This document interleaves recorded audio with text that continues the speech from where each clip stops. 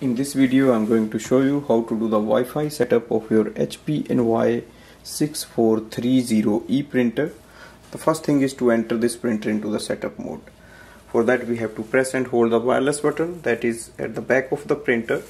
We have to press and hold it for 3 seconds and release it.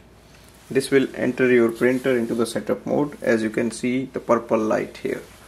Now use any device, for example iPhone, Android phone. Open the HP Smart app. You can download this app from the App Store. Now click on the plus button on the top of the screen. It will search for the set of printers. If you don't see your printer listed there, simply click on the add printer button again. You will see ENVY 6400 series, select it.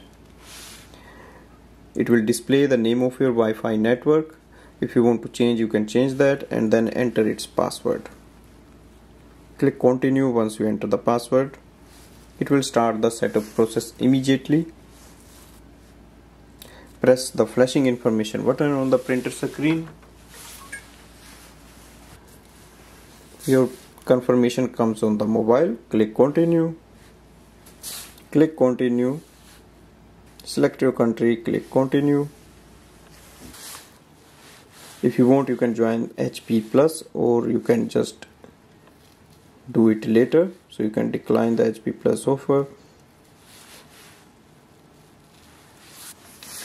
You can also create an HP account or you can skip the account warranty and activation process.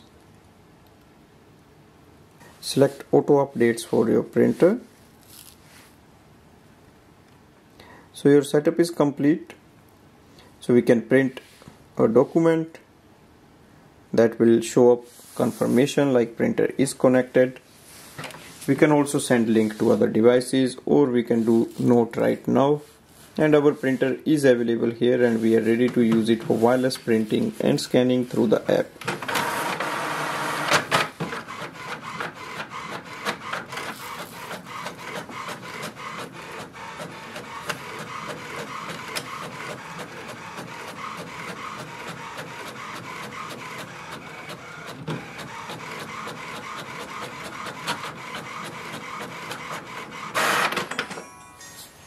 Thanks for watching.